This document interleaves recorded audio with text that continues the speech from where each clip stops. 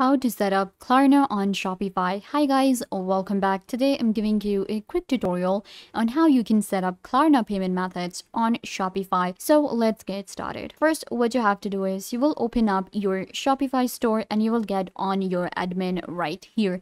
So we can set up any payment method on Shopify. I will be setting up Klarna today. So what you can do is simply go to settings and in settings you have to go to payments. Once you are in your payments, then we can select a supported payment method or a payment provider. So Klarna will be available in a payment provider or maybe in a payment method. So you have to just choose any option. I'm going to select add a payment method. So here we can search for any payment method to add to our Shopify. Now I'll search for Klarna. So you can just like type in the word and there you go. We have Klarna right here. I will select Klarna and you can see it has been selected. Now you just select it and you can click on activate. All right. So so this is our, you know, uh, ping pong checkout, which is Klarna, and we have to connect our Klarna to our Shopify. So click on connect. So here you have to select install app and it will take you right here where we need to create an account on our Klarna. So if you have a Klarna account, then you can just simply connect it to your Shopify. So just go to payments